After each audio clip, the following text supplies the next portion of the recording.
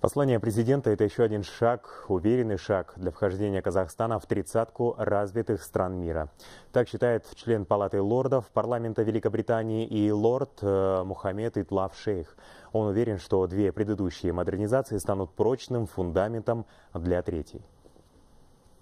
Let me begin by saying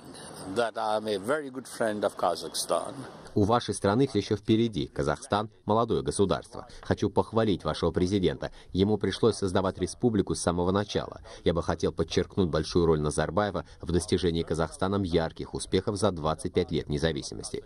Я очень хороший друг Казахстана. В прошлом году с визитом был у вас. Меня поразили гостеприимство и доброта вашего народа. По итогам своей поездки я подготовил доклад, который был разослан различным британским министрам, а также тогдашнему премьер-министру Великобритании Дэвиду Кэмерону.